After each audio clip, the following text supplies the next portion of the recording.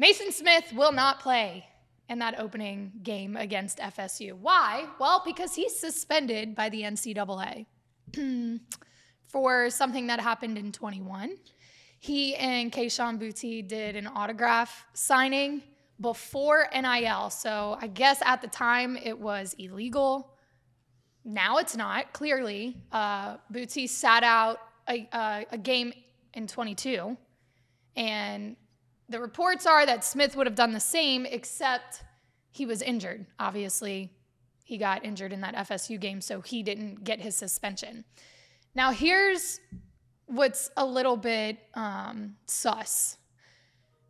Whenever Boutte sat out, he sat out two games, but one was because his child was born. He missed that game. The other one was because Brian Kelly said he had the flu.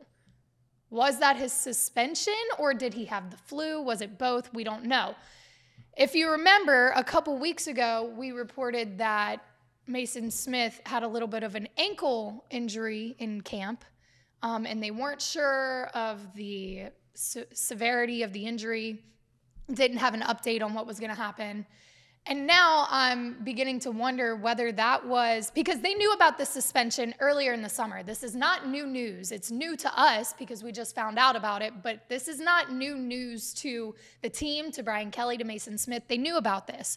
So when they came out and said, hey, he hurt his ankle, we don't know what's going to happen here, were they almost setting up for him to be out that first game? And again, this is speculation. I just have to wonder because when he said uh, Boutte, had the flu, he was actually suspended. What were they setting him up to miss that first game, his suspension, and no one would know about it? Like, what do you think that was? Was it an actual ankle injury? Why didn't they tell anyone about the suspension earlier when they found out? Why is it just coming out a week before the season opener. I think that's just I think that's just a tactical advantage that Brian Kelly was taking was we're gonna appear as if everybody's gonna play on game one, not give Mike Norvell and Florida State any sort of heads up as to who won't be available. I think their game not having Maason Smith on the defensive line for LSU completely changes Florida State's game plan and their approach to the offense. So letting them know that three months in advance would potentially be beneficial for Florida State, and you don't want to help them. I'm sold on that one. That makes sense to me. But I will say, I, there, there's nothing we can do about the suspension at this point. Correct. But can we talk about how moronic it is? I know. I don't agree with it at all.